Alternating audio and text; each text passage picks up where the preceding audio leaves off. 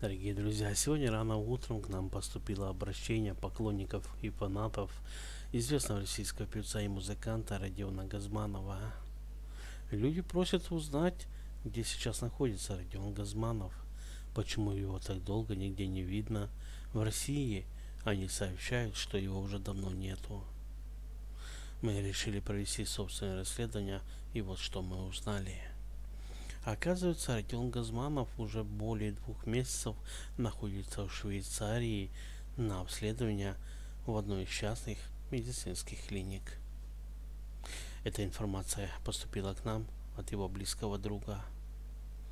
Что же произошло с Родионом Газмановым, почему об этом никто никому не сообщал, мы пока не знаем, поэтому больше рассказывать ни о чем не будем. Сейчас мы попытаемся наладить связь с самим Родионом Газмановым, друзья, для того, чтобы уже завтра рано утром сообщить вам более подробную информацию на нашем канале, в нашем новом выпуске.